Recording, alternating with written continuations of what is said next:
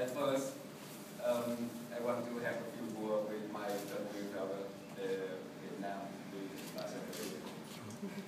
Cảm ơn anh Linh uh,